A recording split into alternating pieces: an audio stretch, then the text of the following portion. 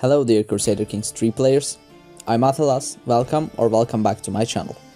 This is the third video of my Crusader Kings 3 character suggestion series and today we are going to focus on Persia.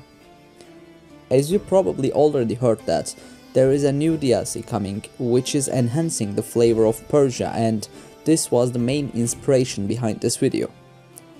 Probably with the new DLC, playing those characters will be much more fun, although they are great to play right now.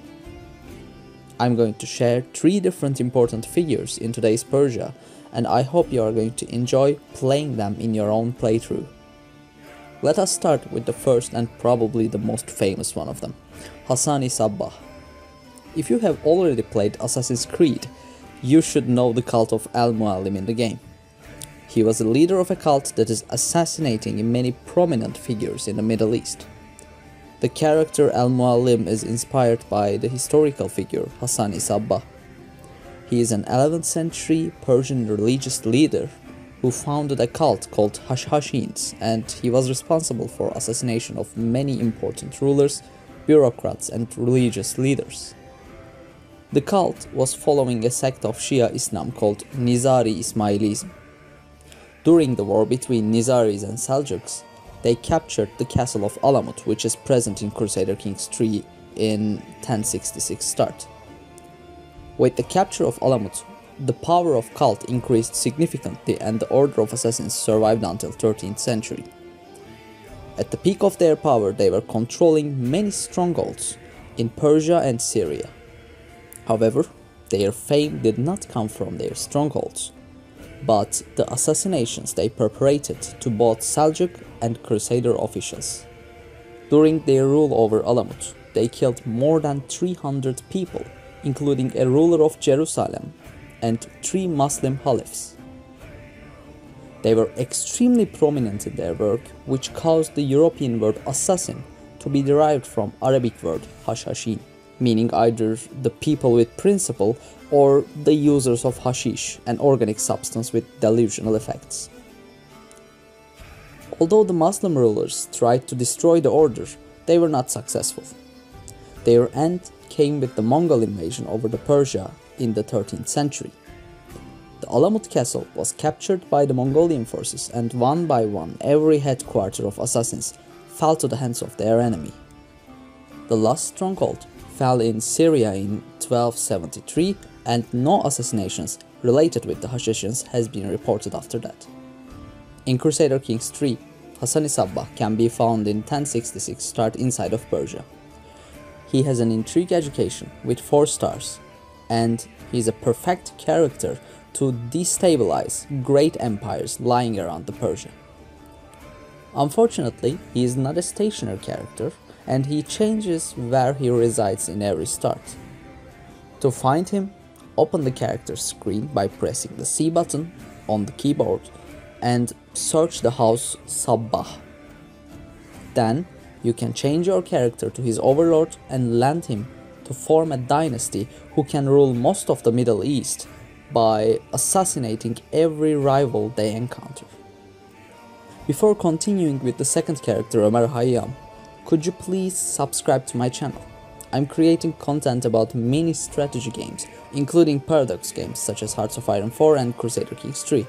And the main motivation behind my work is your humble subscriptions.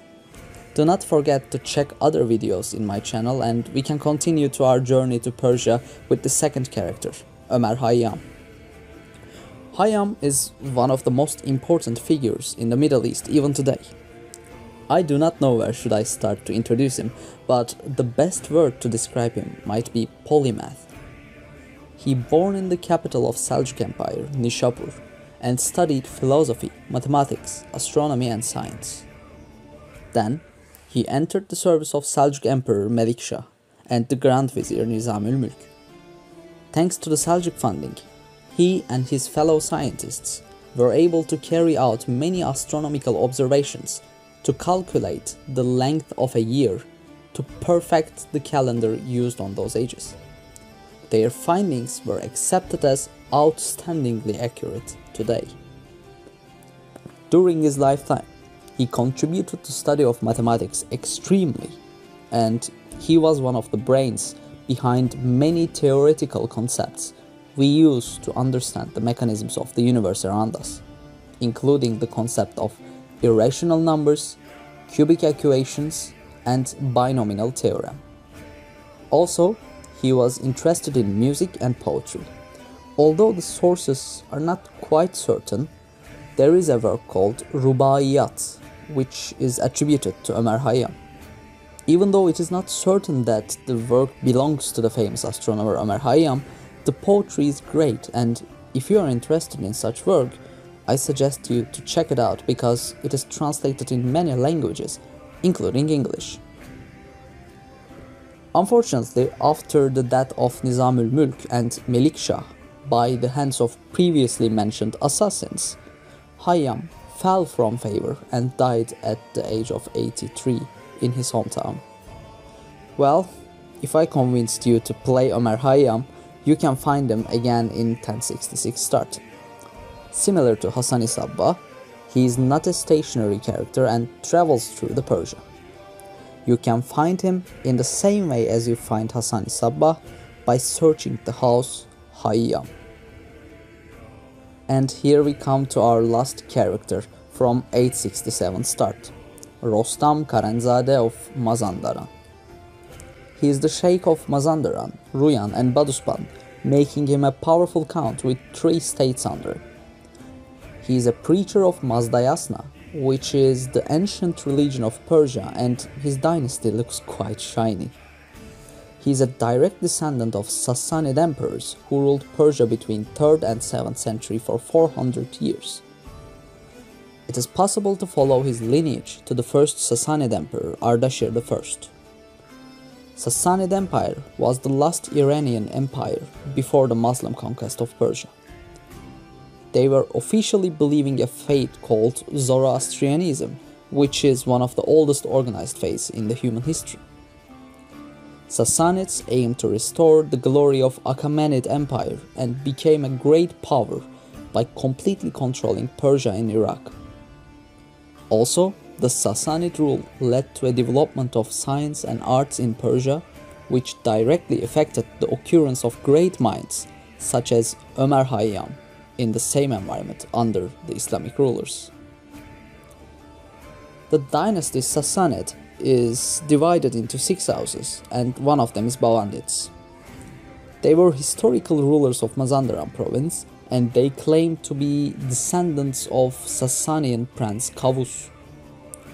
Babandids is a great opportunity to restore the old Sassanid empire from the ashes and spread the old faith of Zoroastrianism over the Persia again.